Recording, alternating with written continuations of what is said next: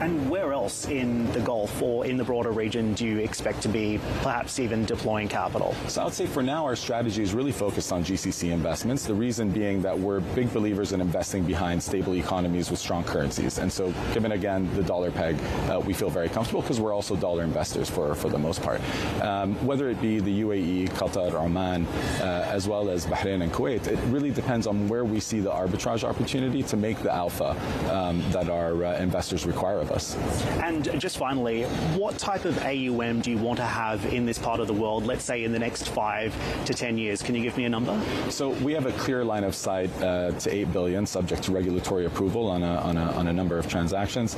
Um, but we think we can raise this to 15, uh, hopefully 20 uh, at some stage in the future. But I can't uh, give you a date, but stay tuned. We'll see how we get there. At, at some stage in the future, are we talking maybe a, a five-year horizon or? Uh, within a three to five-year horizon, let's okay. say. Okay, so big out here in this part we of the world. Very big plans.